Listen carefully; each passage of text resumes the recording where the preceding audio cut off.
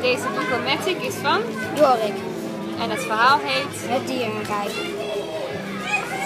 De nijlpaard is erg groot, met een hele grote bek en grote tanden. En nog een.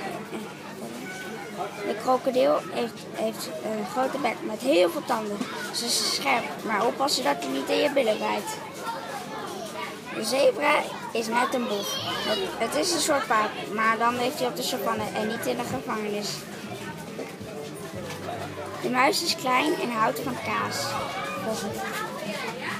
De olifant is groot en heeft een laagtehartige trompetter. Ah, Hij stampt heel hard. Wat een aardbeving.